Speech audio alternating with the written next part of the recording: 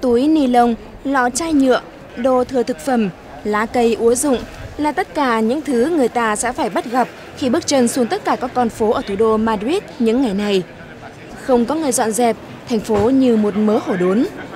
Quang cảnh rác thải chất đống trên đường phố khiến cư dân địa phương và khách du lịch thất vọng. Một điều rõ ràng là cần phải có giải pháp cho vấn đề này. Madrid là một thành phố hòa lệ, nhưng lúc này quang cảnh thật nhếch nhác, không khác gì một thảm họa. Chính quyền thành phố cần phải làm gì đó để thay đổi điều này. Theo người dân địa phương, thì thị trường thành phố, bà Anna Botella lại hầu như không có bất cứ hành động nào để giải quyết vấn đề.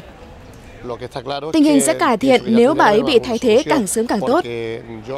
Trong khi đó, theo Tổng Liên đoàn Lao động Tây Ban Nha, trừ khi chính phủ rút lại quyết định sa thải công nhân tập thể và chấm dứt tình trạng cắt giảm tiền lương, họ mới chấp nhận quay lại đàm phán có tiếp tục làm việc hay không.